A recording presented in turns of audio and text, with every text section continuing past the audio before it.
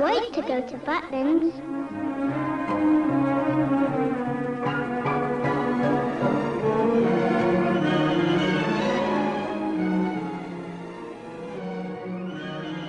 I love the Morden Arms because the ashtrays they provide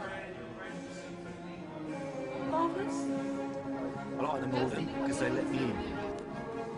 I don't like the Morden. The reasons I love the Morden are the same reason I hate it. You, Biddiss, you love and adore this emporium of filth. is because they allow special needs people like me to come in. And I can crap where I want.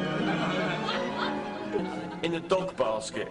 I hate the beer in there. I love the pub, but I hate the beer in there. That's why I put lime in it.